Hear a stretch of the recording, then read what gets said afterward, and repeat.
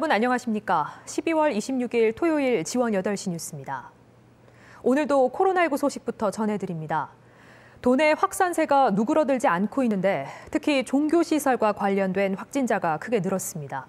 취재기자 연결해서 자세한 상황 알아보겠습니다. 백행원 기자, 오늘도 도내 곳곳에서 확진자가 나오고 있죠? 네, 크리스마스 연휴 고비를 넘기지 못하고 있습니다.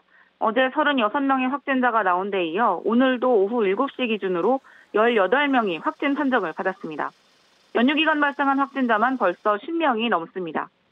철원에선 어젯밤 11명이 무더기 확진 판정을 받았습니다.